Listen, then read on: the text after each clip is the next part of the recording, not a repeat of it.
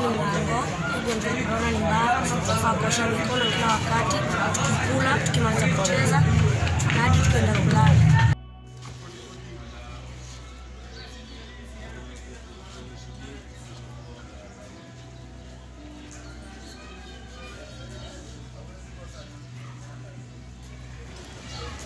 Here we.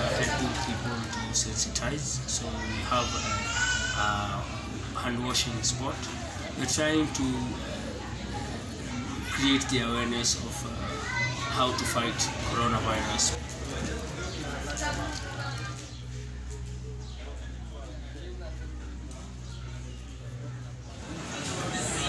We've been washing people's hands for, for nine days, and uh, so far we've washed 7,200 people.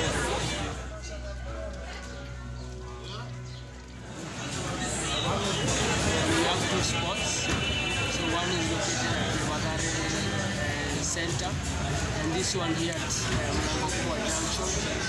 We're looking forward to have more sports so that you can support and fight against